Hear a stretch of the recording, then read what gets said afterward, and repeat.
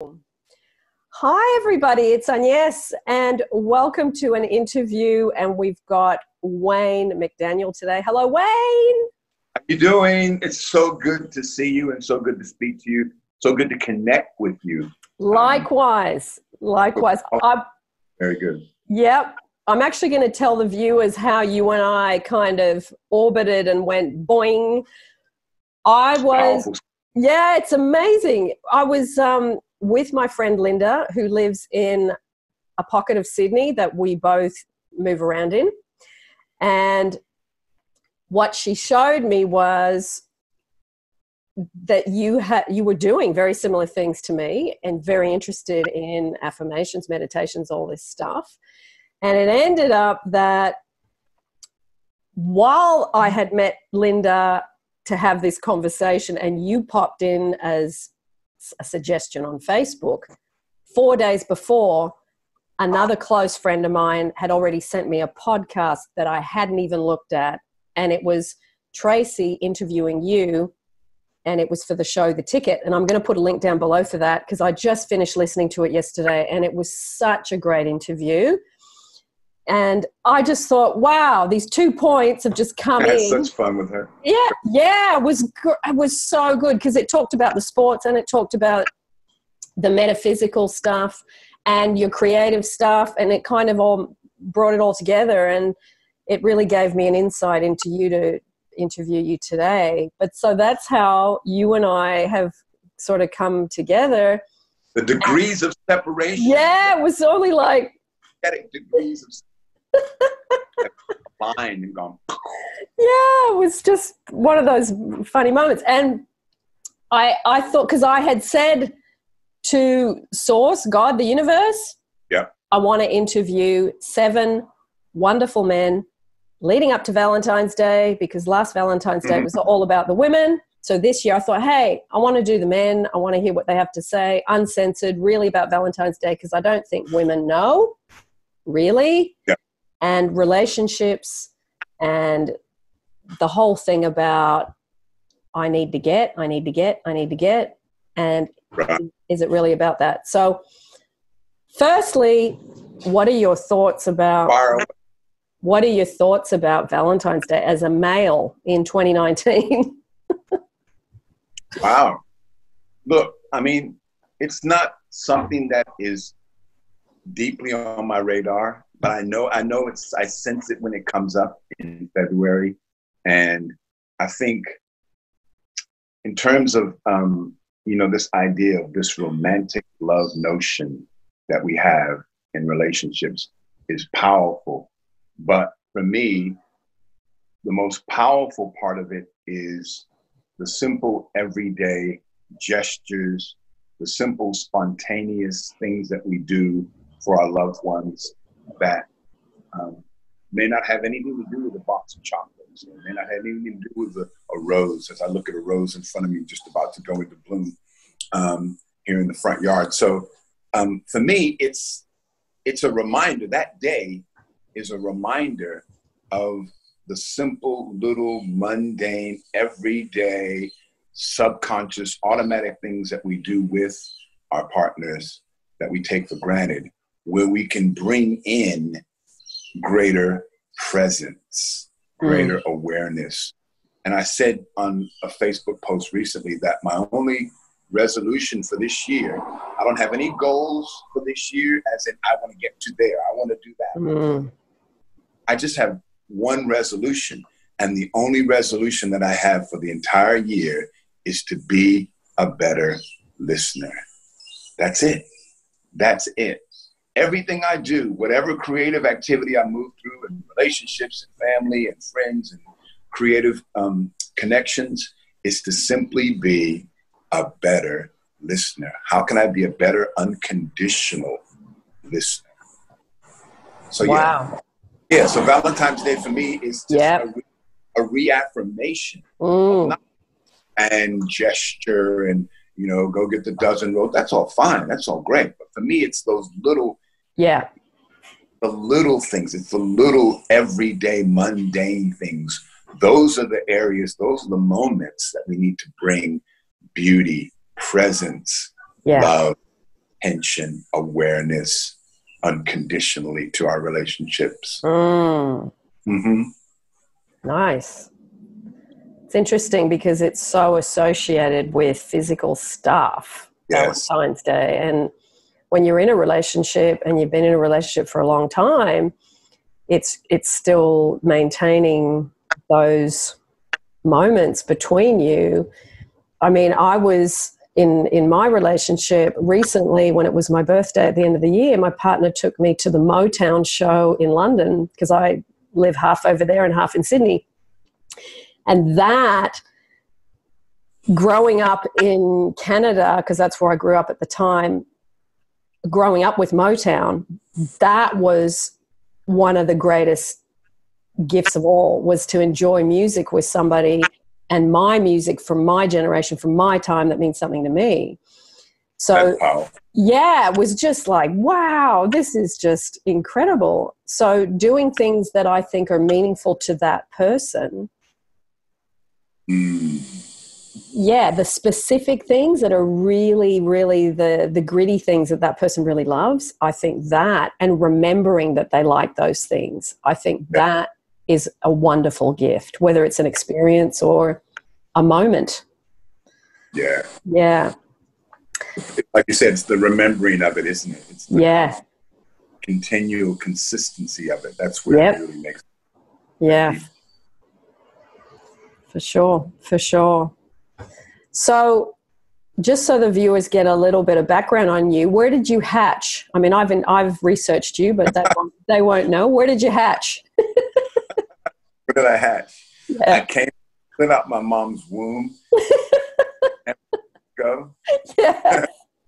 In the beautiful city of San Francisco, and um, yeah, that's that's that's basically where I, where I grew up and moved to Australia in 1983 to play basketball for the Adelaide 36ers in 19. yeah yeah Um, and you know what's interesting wayne Mhm. when i looked that up on your wikipedia you and i arrived in australia the exact same year Wow. yeah 83 That's what, mo- what month did you arrive January 1983, January 3rd, 1983. yeah on that Qantas flight, and as I, I said to Tracy Holmes, the most powerful, one of the most powerful things was to see the sea of red roofs over as we come down in, you know, past Bondi and in, into the city proper and down into the, the Kingsford Smith Airport. Just Yeah. this red roofs of houses. It was amazing to me. I'd never seen that before. yeah uh, And then to sweep into this clear blue, crystal blue water of Bondi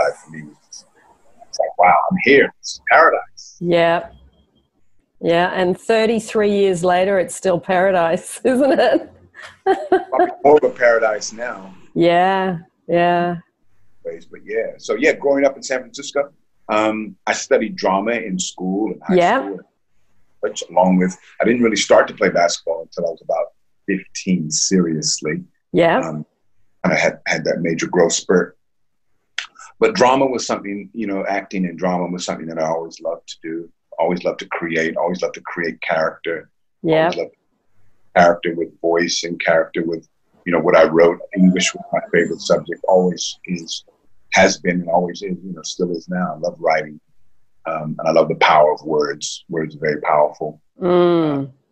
As anyone who's you know privy to the law of attraction uh, knows how powerful words are as a vibrational frequency. Words are very powerful. Not just words you speak to others, but words you speak to yourself. Yeah. Self talk is powerful. I'm really big on self talk. But Yeah. and then so yeah, played played in Australia from '83 till about '96. '96 my final year, um, but didn't really get into the the mind body development phase until probably 88, 88 in there. Um, went to a seminar with an American. Uh, I guess back then you'd call him a motivational speaker. His name was Louis Tice, and he had a he had a company called the Pacific Institute, and they were all about affirmations and visualizations and writing affirmations and how to visualize. And, and the most powerful element of that was about self talk and why self talk is so important in setting up not only how we see ourselves, but how we see the world and how we see possibilities within the world. Um, so yeah, that was that was that kind of kicked me along into it. You know, that gave me a quantum leap, if you want to call it that, into personal development. Yeah. And then years after that, I discovered meditation and yoga, and kind of kind of went went that way. Yeah, it was powerful. You said you said Wayne that meditation saved your life. What did you mean by that? Ooh, great, juicy, lovely. Okay. it's, it's it's just dealing with so much past. You know, I didn't really, I didn't know my father until I was 18. And the first time I saw my father was on an episode of Lassie, watching the television series Lassie. Yeah. Father. And just, you know, just dealing with the anger of not having him, the anger, mm. um, you know, just childhood things, issues, conditioning from my childhood that would come up would, would um, put me in an, an angry state when mm-hmm. externally, you know, you'd say, well, what do you got to be angry about? You know, here you are playing basketball, traveling, and, and you know, da da da da, as a sportsman. Yeah. Uh, meditation just changed, literally changed my whole energy from a from a cellular level, you know, in terms of just how I reacted or responded to life. Um, and it was my therapy, and it continues to be my therapy every day. You know, I just just finished a nice forty minute breath ex- exercise before we began this this broadcast. And, um, yeah, mm-hmm. meditation saved my life in terms of it just made me a calmer person mm. in terms of how I saw the world. Um, yeah. And how I saw possibilities within myself. It just it just opened me up to so much more of, of, of what could be possible. Mm. Mm-hmm. I think um, when you're doing I mean, you were doing professional basketball, which I can't even imagine how intense that would be in terms of go, go, go, go all the time, mentally, physically. And to not have, I mean, you just see in sports so often just the anger levels that come up. And when you were starting to meditate, did you have any of those issues like you do see a lot of sports people have? Did you have the anger issues too? Major anger issues. Okay. With teammates, with with um, in relationships. Not that I hit anyone or hurt anyone, but just emotional stuff. Yeah. Just yeah. just holding stuff in that you know I needed I needed to kind of talk about or yeah kind of find ways to to constructively and creatively um, use uh, and that's where acting helped me a lot too. So that combination of, of creating character and acting um, together was a powerful little duo because it helped me release and channel some emotion into character, and it continues to do, do that to this day. Mm. Yeah, so that that combination of, of moving into breath work. Yeah. Get daunted by meditation because they think they have this fallacy that oh i gotta sit down and clear my thoughts. Yeah. I have to clear my i have to there's a doing thing in that. I have to do this. I yeah. have thoughts. Well no you don't have to do anything.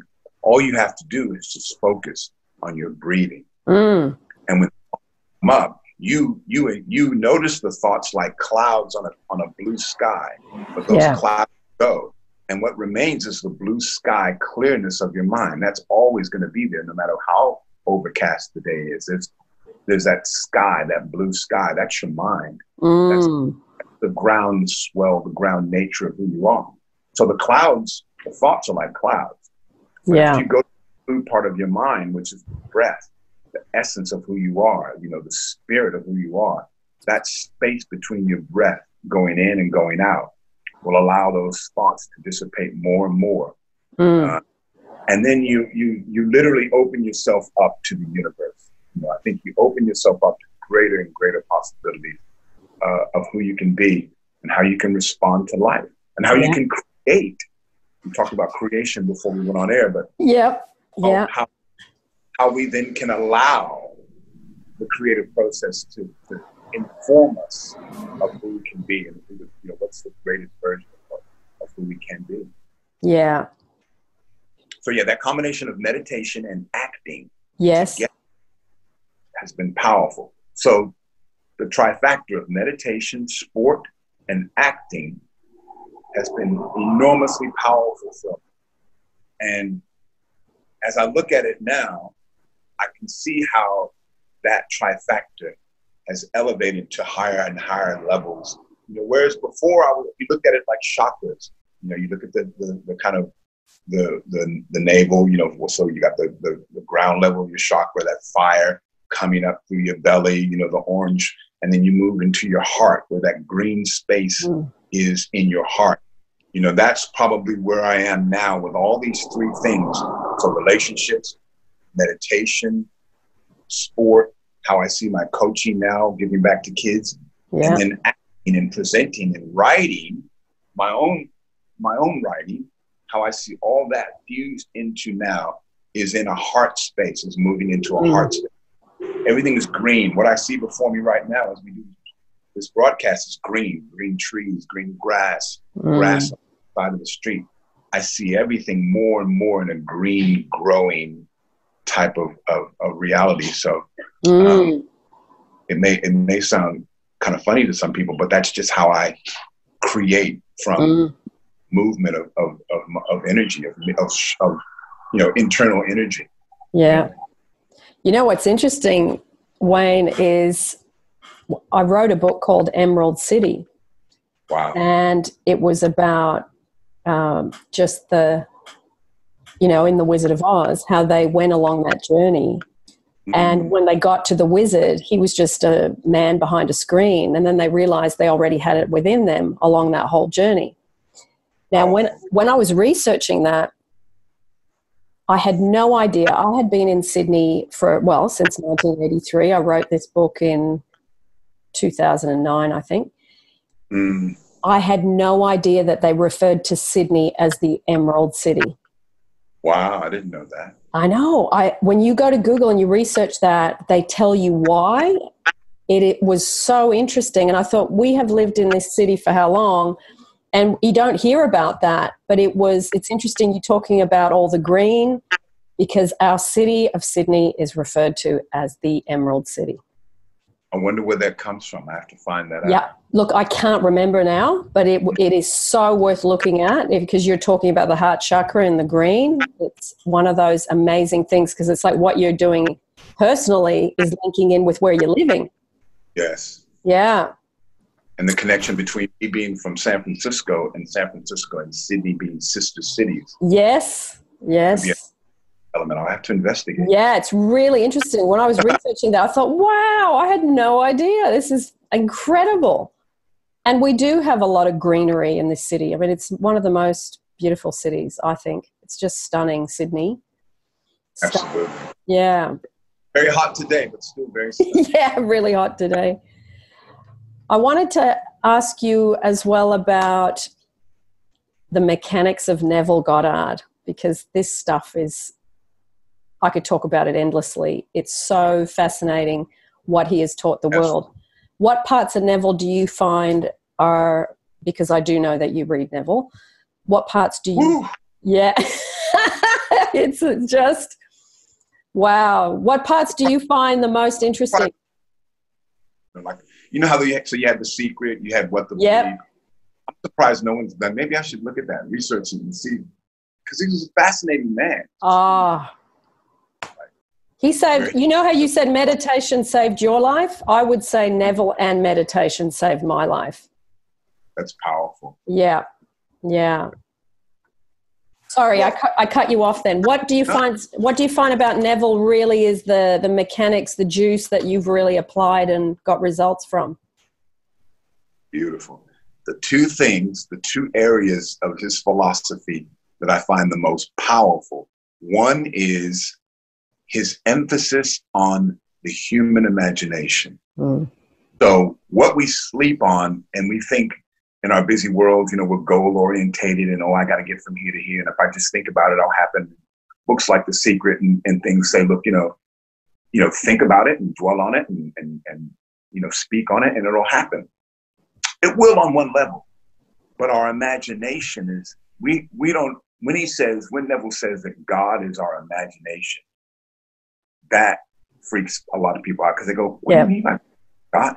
Well, that's our imagination yeah. is the God presence within us. So taking all the religious, you know, the Christian and whatever, all the religious connotations out of it, if you imagine God as being this supreme uh, creative force, put it that way, because he's the creator, you know, you know, he said God's the creator, whatever.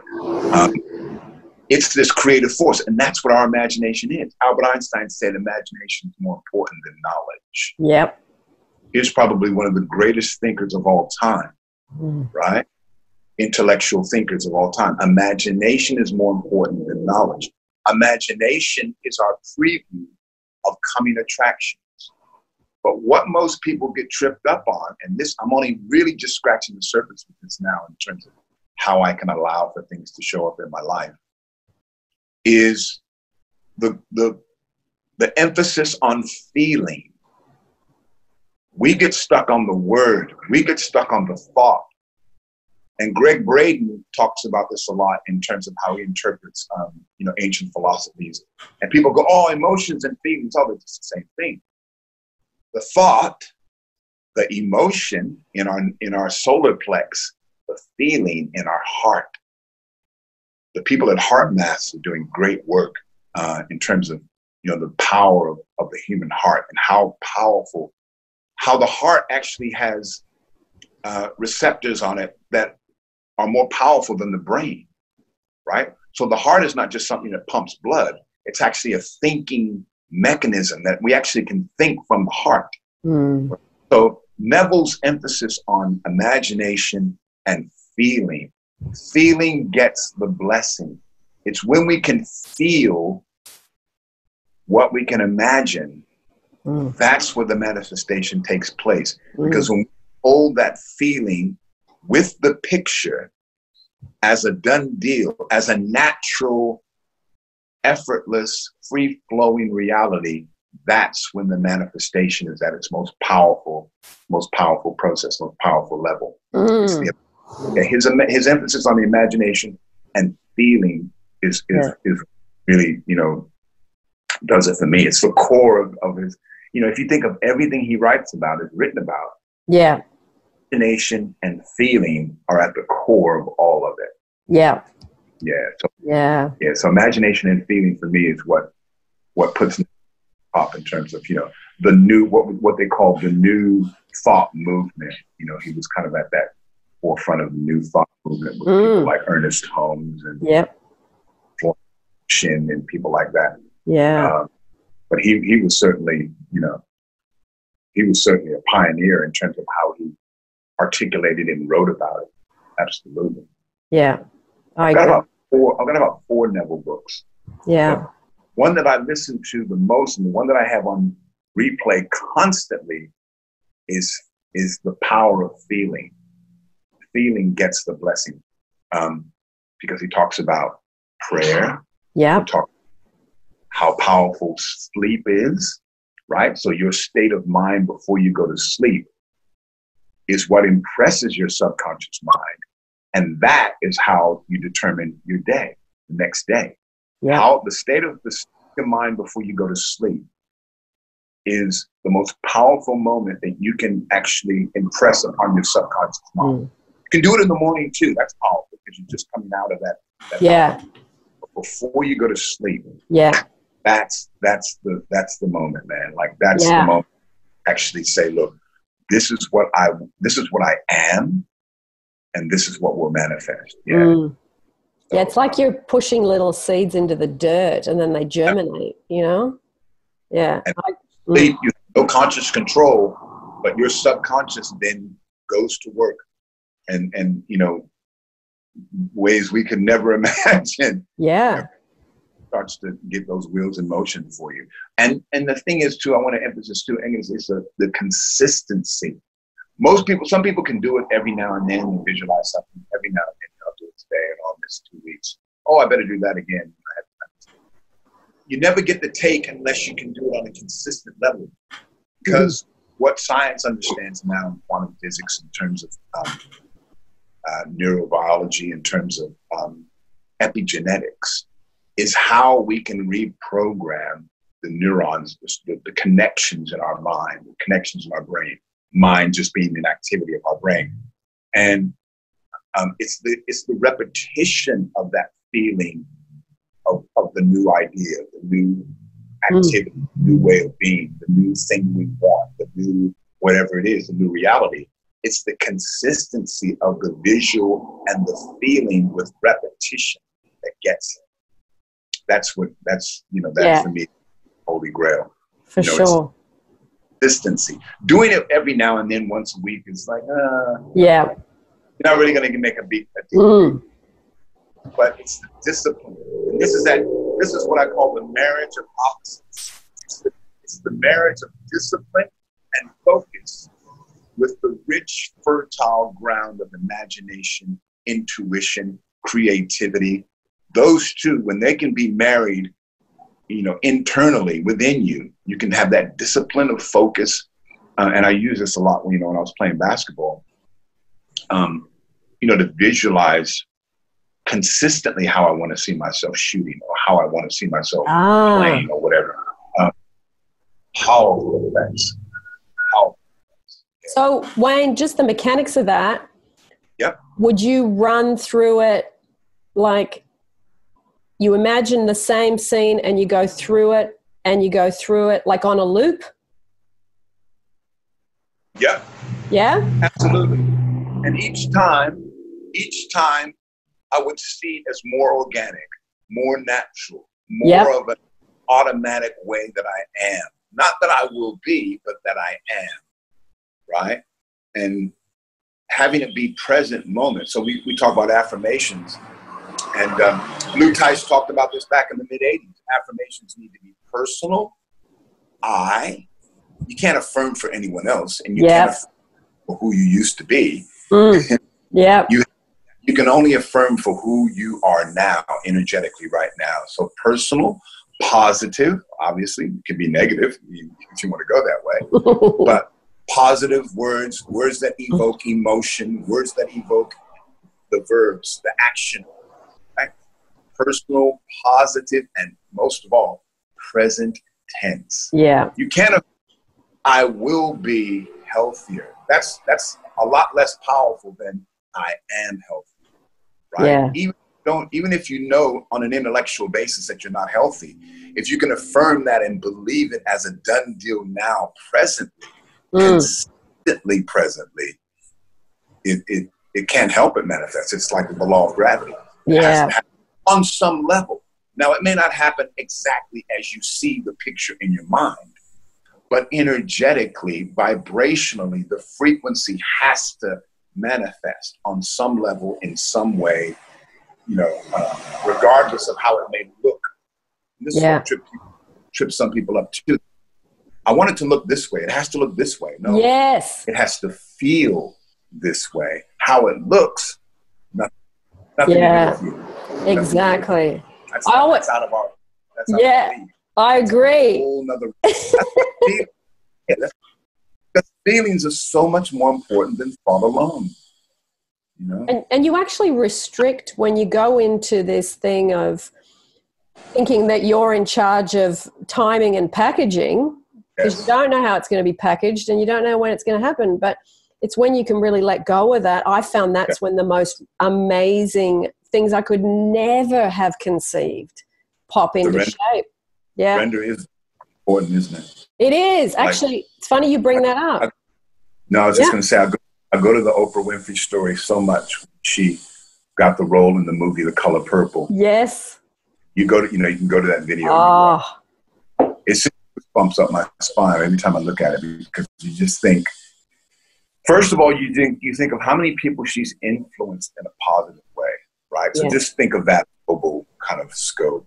But then you think of that moment that she started singing, I surrender all. I surrender, and say, I surrender all. She's singing this song. Yeah. Totally letting go of the fact that she's going to get this role, thinking mm. Alfred get the role, you know, it's a done deal. She's, she's, in, and, and before that, she's so intently wanted the role she's so focused on the role. I'm getting this role. I've got to get this role. I've got to get this role. Yeah. To then to then flip that to I surrender.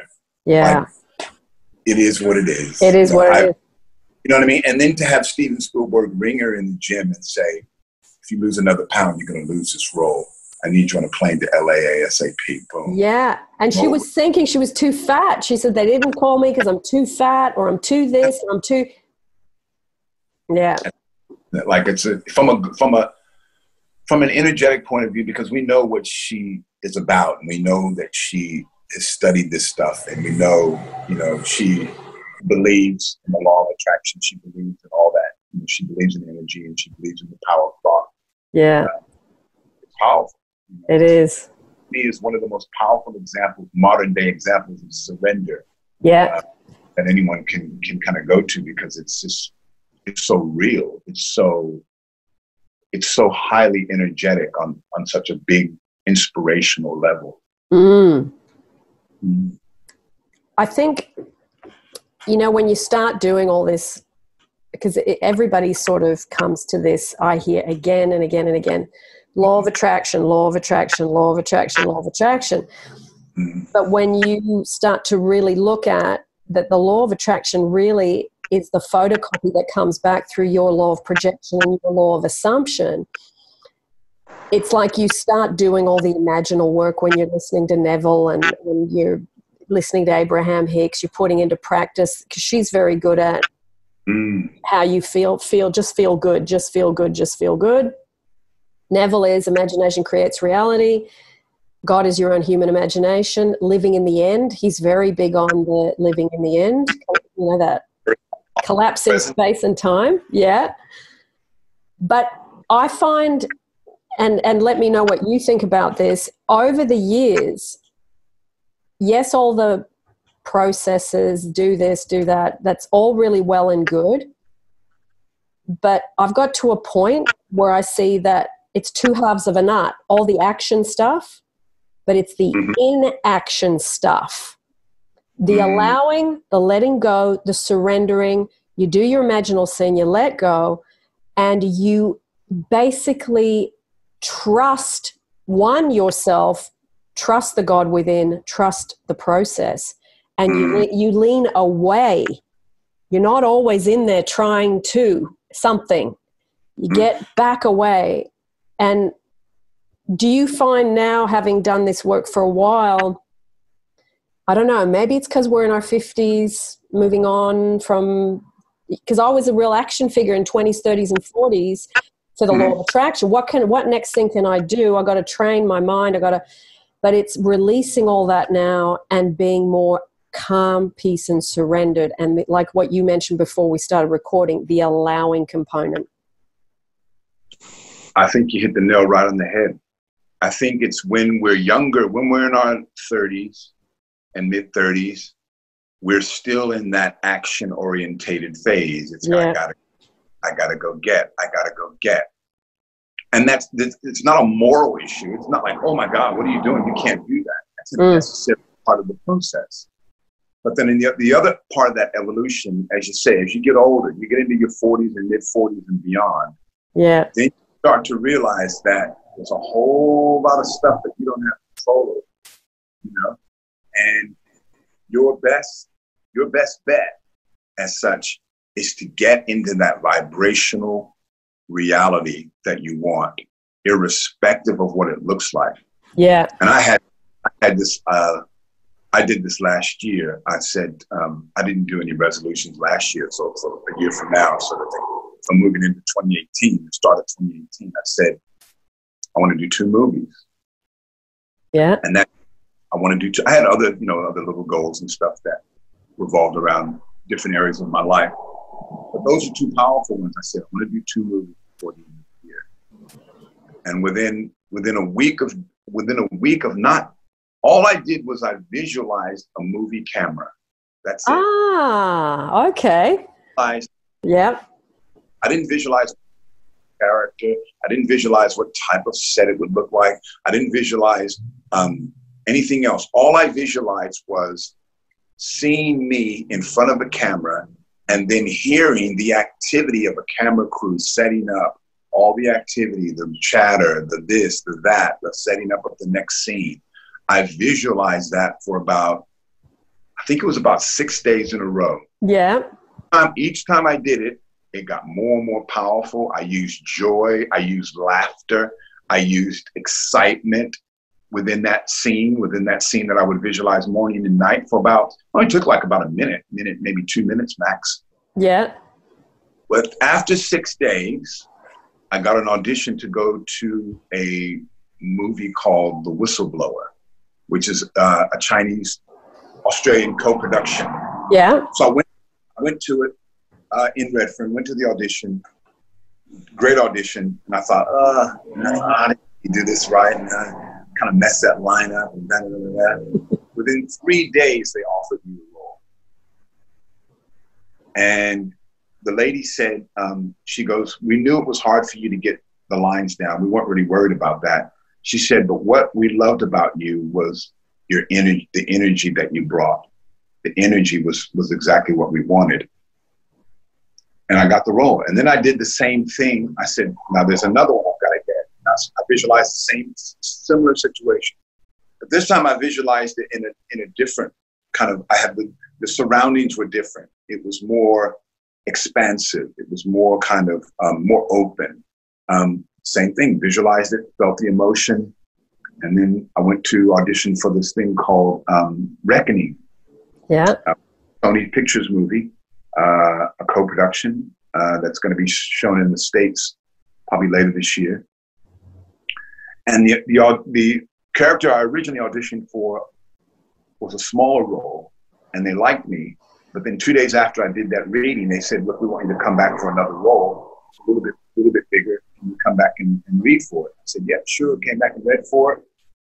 Within 24 hours, I got the and it was just the energetic feeling of mm-hmm. saying that I'm gonna, I'm gonna get it.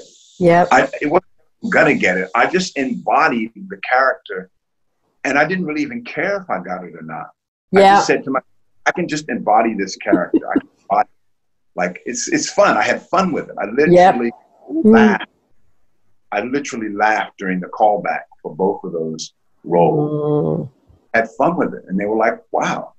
I changed my voice around for one of them, and and, and everything, and um, yeah, it was it's just powerful, really, really powerful.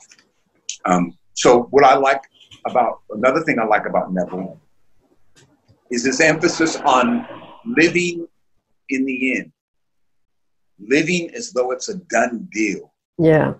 That is so important because many people project and they go, oh, I will be healthier when I lose 10 pounds. I will yeah. be healthier. I, will be this when this happens. I will be this when I get that new position. I will be more loving when my partner constructed by.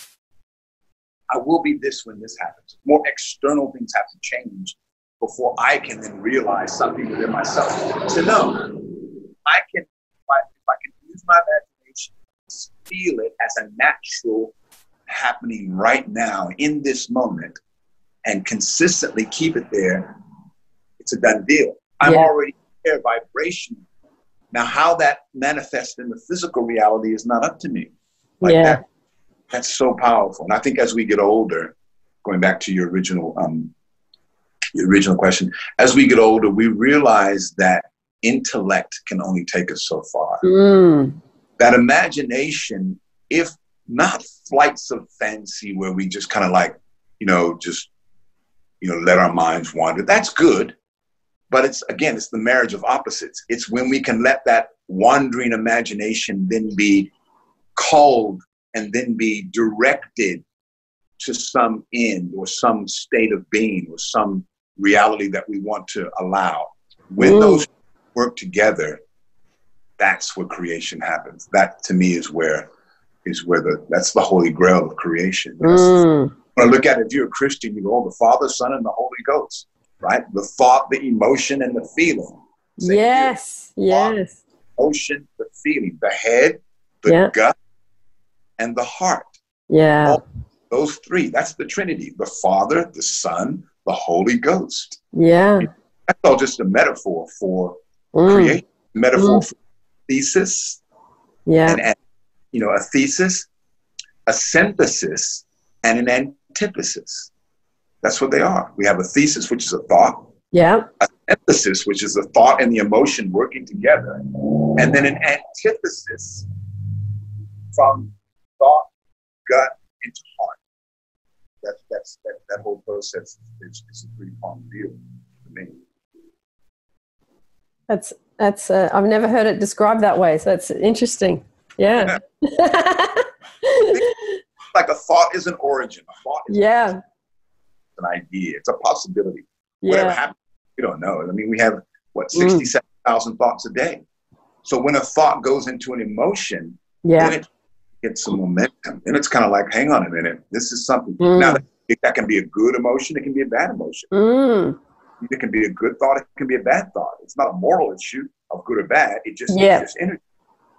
So and it, and it has consequences, good or bad. Mm. both ways. Yeah. Both When it gets to the heart, that's when you know it's it's, it's a done deal. It's it's when it gets to the heart and when it's expressed consistently from the heart, it's a done deal. I mean, you look at any any person who's achieved greatness life in the world scope. Everything they've done that's worthwhile, they've done it from the heart. Mm. Just, you look at it, it hasn't been really an intellectual, an intellectual deal of, of, you know, intellectually working out, rationally working out. The heart, the imagination, intuition have all been very, very powerful uh, to get them to get them over the top. Yeah, yeah, yeah. I can't agree with you more. When if you had a time in your life where you were experiencing something that was really unpleasant, you know, those moments where you feel like the roadrunner that's been hit by the Acme truck. Mm, the powerful metaphor you just used. what I'm about to tell you is, is almost is, is spot on. Okay, go, go. well, um, in 2004, I was uh, I was in singing and a, a, conference, a party, an end of year party for some accountants up on the central coast of New South Wales in, in Gosford. Yep. After I finished this gig, uh, my friend said, "Look, why don't you stay with me, man? Like, just, just stay up here in the Central Coast, and we'll chill out and have breakfast in the morning." And I said, "Look, like, I, I got to get back, man. I got some stuff Saturday morning. I want to get done. Had some to do and stuff." So I drove back, but I was so tired, I fell asleep at the wheel and my car flipped over near Chat and just coming into Chatswood. Yeah. Flipped over on the center divide. This is how the ambulance guy described it to me when they do the little drawings and they and they backtrack how your car landed and everything. Took them an hour and a half to get me out of the car. So I flipped over the center divider after I fell asleep at the wheel. I had 19 stitches in my right hand, so right up my right hand. I can't show you now, but uh, 19 stitches in my right hand, and I fractured my pelvic, my, my right hip, fractured it, yeah. shattered. Yeah. Uh, and in 2011, I had a hip replacement for that right hip. Put a titanium hip in there uh, at St. Vincent's Hospital. But when I, before I got the hip replacement in 2011, so my partner said, "Look, you got to do it. Just do it. Like you know, you got to do it. You know, my mm. leg was my leg was a little bit shorter than my left leg and stuff, and you know, I had I was limping a little bit, and you know, I could use a cane sometimes and stuff.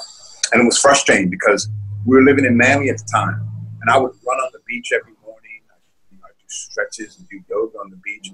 It was so carefree, and I thought I was Superman. It's such a beautiful lifestyle to be able to do that, and then all of a sudden to not be able to do that.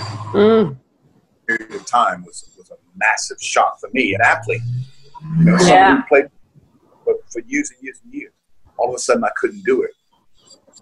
One, it was very humbling, but then I said, look, I've got to use my mind.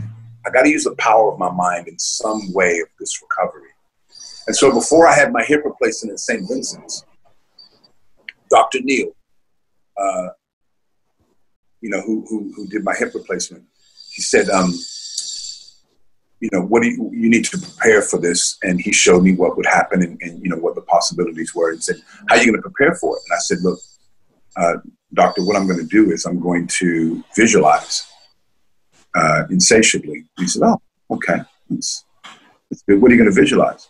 I said, I'm going to visualize what the hip's going to look like, what I'm going to do in my recovery, and how the progression of the recovery is going to be and how I'm going to feel after that. So, two weeks out of the hip replacement, I visualized my recovery. I visualized the operation. I visual. He showed me actually what the titanium hip would look like. He showed me actually showed it to me.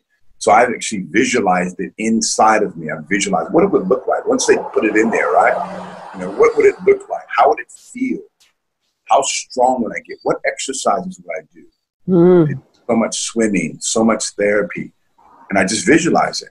And then when I went back for my checkup, maybe a week after the operation, actually a few, a, a couple of days after the operation, me and the family went up to the Blue Mountains and I did a two hour walk.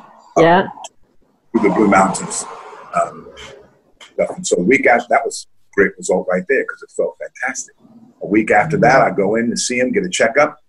He says, this, he says, I said, how many would, of these would you do a year? He said, over 150, over 150 hip replacements a year. Yeah. And Wayne, yours is one of the best results I've ever seen. Wow. And he said, what you did? He goes, I don't know. He goes, look, I'm not. his words so vividly. He goes, look, I'm not into the new age woo woo stuff. Yeah. I'm a, I'm a surgeon. This is what I do. I go in and I replace stuff and I fix stuff. You know, it's very mechanical in that way. Yeah. But he said, whatever you did, um, he said, I couldn't, he said, your leg's going to be about a fraction of an inch shorter, like between an eighth of an inch shorter than your left leg because I couldn't actually set it any better because I'd stretched too much of the nerve ending. He ah. said, but what you did, the result that you got was so good. He said, I applaud you for whatever you've done. He said, you, you got a powerful mind and you used it in a powerful way. But yeah, that, that was, um, wow. Very traumatic. Yeah. Very, very powerful in that it was very humbling, you know, to go through what I went through, you know, for me to be such this, you know, this fit yeah. guy man all the time and just, you know, did weights and yoga and, and just so mm. powerful. Then to then be on crutches and, and be, you know, laid up for so long and stuff. Yeah. But then to also be humbled by it. Yeah.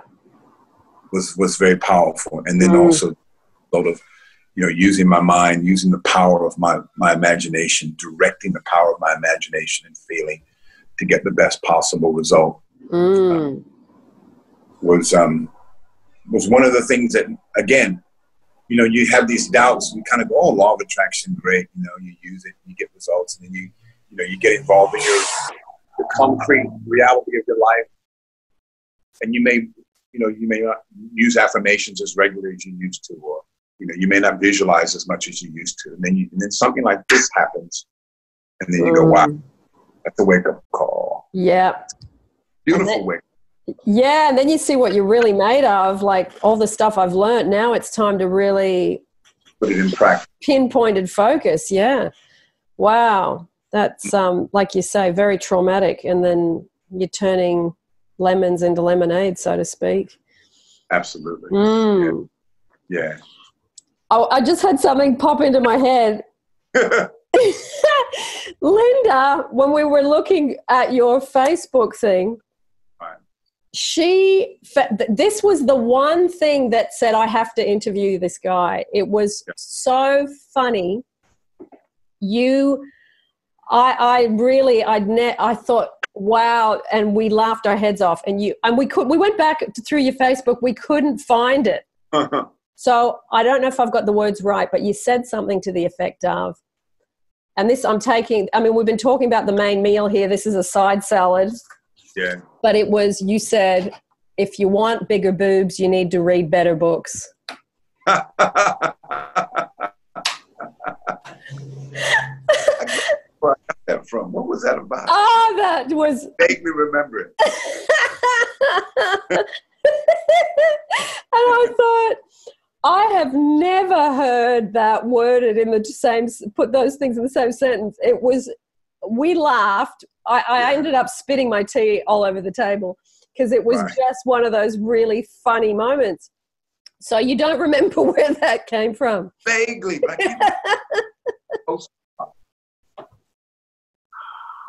I can't remember. Yeah, something something silly. Someone might have had implants or something. Oh. lines, but yeah. oh, that was a great comment because I do think, and I do hear, I get a lot of emails because I, you yep. know, with the work I do, people email and say, "Oh, I want to, you know, can you help me imagine it, create a scene?" Because I do yes. a lot of working through the mechanics of Neville, and mm. people say, "Oh, can you help me create a scene?" So I've got, you know, this really beautiful waist and this lovely boobs, and and I remember thinking, you need yeah. to do more self love, you know, but you worded it in such uh, a way. Wayne, that yeah. would make a great T-shirt. Go to yeah, you want bigger boobs, read better books. nice.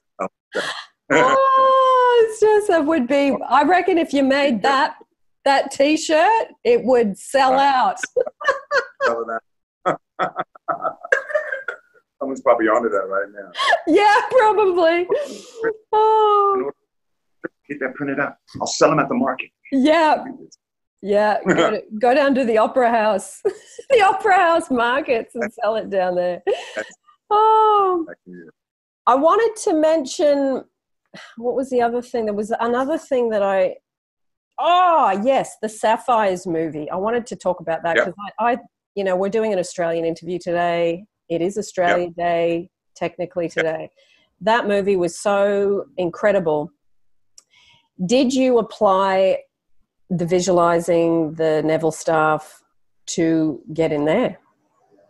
100%. Here's mm. the story.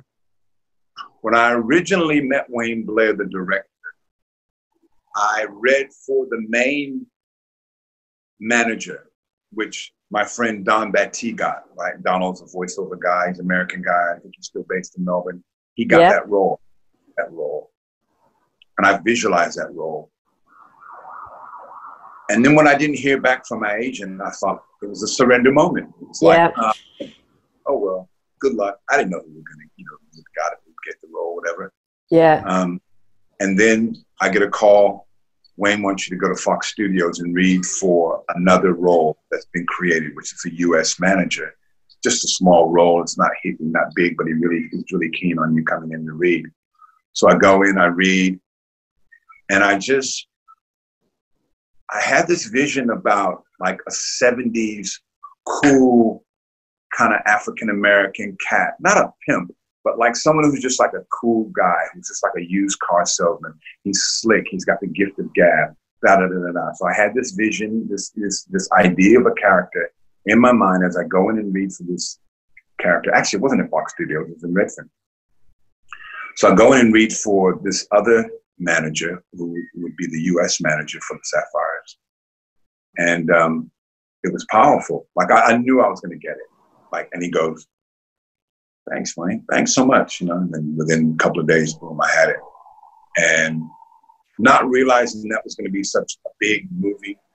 Um, mm. you know, that, mm. you know, that um, Deborah Mailman, who I admire so much as an as an actress. Uh, you know, she's so talented, so so talented. And then to make, you know, to meet and, and do the scene with um, Jessica Mauboy was was powerful. When I walked into the trailer where they were doing their makeup, so I arrived on set way down in Camden, down south of Sydney. You know, oh. Shot that that scene that I was in, and then I walked in there and I walked into their trailer, and so her and Deborah Mailman are getting their makeup, and and I just, I don't know, I just started singing Sam Cooke. I just started singing, Darling, you send me, honest you do, honest you do, honest you do. Whoa! Started singing that. And then so Jessica turns around and she goes, Oh my God, keep going, keep going, keep going. and then they, oh no, we got to get a new wardrobe. So they whisked me in the wardrobe so I could put on my gear to do the scene. Mm. She was so effortless, and the whole shoot was was so effortless, and um, it was it was just a, a beautiful experience. You know? Mm. Beautiful experience because it was just creating, but it was so organic. You know, I could I could do him anywhere I wanted to. He comes off that jeep and goes in there and looks at her, you know, does what he says, what he needs to say about her, and all that. Um, yeah, Mm. the power of surrender. That was about the power of surrender. Yeah, that was about Yeah. the power of surrender. Yeah. Yeah, that What was a that was. great experience. I think Yeah, you're you're such a great example of combining the whatever whatever subject you want to call it. I I find New Age just doesn't do it justice. It's Yeah. it's, uh, it's so much imagination creates reality. Yeah. Is it's kind of a more tightened focus way of Yeah. saying it. And then getting combining that work with creative work that I, that to me it doesn't get better than that. When, when you can be free living that and and you're no longer doing a job you don't want to do or because so many people do jobs they hate so many. Mm. but you're combining the best of those two things creative wonderful exploration making money and also applying all this stuff that we've talked about today i just Yeah. find that so exciting it's endless endless to talk about that so Yeah, good going on and on, huh? It's funny how you get all these things that you know. I used to do voice work, and I used to do characters and stuff when I was a little kid in my Yeah. room. Yeah picked up a basketball. It's funny, all those things just come full circle. yeah I was always visualizing. I realized I was always visualizing even before I knew what visualization was. We're always visualizing, we always do it. yeah But As a Yeah. kid, I would sit in my room and visualize myself on the radio, speaking, announcing, reading copy. yeah And a lot of that stuff has come full circle now in terms of what I do and, and, and you know, what excites me. mm. The next thing I want to do, the next area I want, not conquer, that's the wrong word, but the next area I want to align myself with is speaking in public. yeah speaking in public. So telling my story, talking about action, talking about manifesting, yeah talk about talking about the power of vibration, how we have the power to be able to direct our vibration for for for good for good means. yeah Uh, that's that's that's the next mm. thing I imagine myself um, yeah endeavoring to do, endeavoring to inspire other people. Yeah. yeah to be able to pay it forward Mm. you know and it's funny because in the area that you and i are live in they've got a pay it forward facebook group so it's it's paying it forward on a bigger scale whether it's on youtube whether it's on a stage whether it's at a gathering or but paying things forward. And i think once you understand the mechanics of all this all the laws how how the mind really creates and like we said it really creating is the wrong word. It's already created. It's like a bookshelf with books on it and you go i'm going to read this book and i'm going to and that book comes forward. And doesn't yeah it doesn't mean that the other books cease to exist. It just means you're not reading them for tho- that moment. So they lay dormant on the bookshelf so Love that analogy. That's powerful. yeah, it's easier to see it because it's visual. It's a, it's easier to see it. But oh, this is such a good subject. Honestly, I it's an unquenchable thirst for me talking about this stuff. really is. It's so and to find people that just love it as much as you and, and apply it working creatively because you know I've never been a nine to five. I've always found that quite repulsive. I, I have to be beating to my own drum, moving around, living in different places, and enjoying meaningful conversations about creativity, about bringing success through creativity, and using the law of attraction. Neville, Wayne Dyer, Joe Dispenza, because he came Abraham. to mind. Abraham Hicks, yeah. And uh, I thoroughly enjoyed this interview, Wayne. Thank you so much for Thank popping on. It's brilliant, brilliant, brilliant. It's been a pleasure. been a pleasure. I've Yeah, enjoyed it. Feels like a Talk- com- Hours- talk for hours on this stuff. I know, I know, I know. Yeah. So thank you for giving your time. And um, I'm going to put down lots of bits and pieces about you down below. If you have time to pop onto the YouTube, I'll let you know when it goes up. And if you want to answer some comments in the thread, if you have time, you know, cool. If you don't, that's fine. But I think um, there's lots of good nuggets in there for people to um, hopefully it inspires people to start moving in the creative direction and using the two halves of the nut you know the work internal work that we do through meditation affirmations visualizing and then also injecting that into the meaningful work area of your life It's got to be practical, hasn't it? it does Got to be practical in terms Mm. of what you do in your daily life. yes yes One thing to read about it, it's another thing to read someone else's story or hear about someone else's reality with it. But to actually apply it to what you do in your Mm. own or seven, like it's, Yeah. That's where that's where the, the nectar, the nectar is. Yep. Yep. I agree. I agree. And seeing what how you can shape the external world, how you can shape it through thought projection, through, you know, focus, meditation, br- bringing it towards you. There's very little you've got to do out there. It's all in here. And then it maneuvers. I remember Neville said in a story, oh, it was when he was um, talking about he wanted to leave the army, but he didn't want to kind of leave on bad terms. He said he wanted to be honorably discharged. Mm, Great story. Yeah, and there was a line in there where he said the the whoever he was, the corporal or the the guy in charge, he Mm. said he had no idea that he was under the suggestion of my projection and my assumptions. He had no idea he was Mm. under the influence of that. And I remember thinking, wow, that's what happens. People start to maneuver towards you, like in the stories you shared today. People Yes. start coming in, they offer you the role, they give you Yes. the part, they Yes. offer you the thing, like how you and I came together today. I was asking for wonderful men that were able to discuss these concepts that are, I think, the foundation of life.